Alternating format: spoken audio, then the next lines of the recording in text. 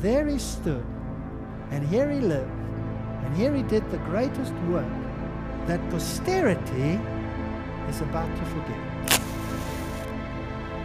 What is this series called? Rekindling the Reformation.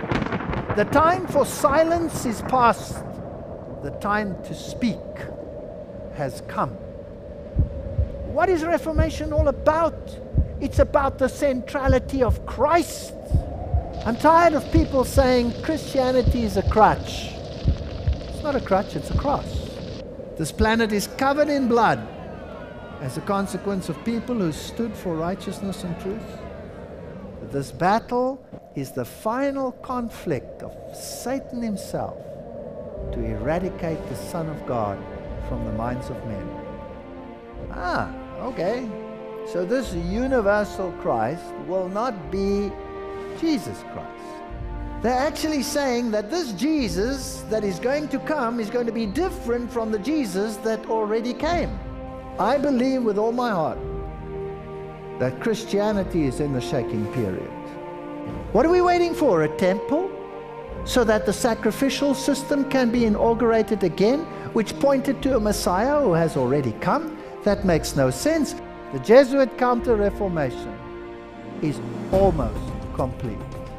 This is Jesuit Counter Reformation theology, and it has taken over the Protestant church.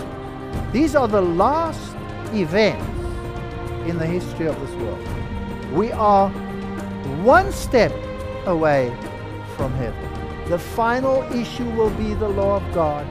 The final issue will be the Sabbath of the Lord.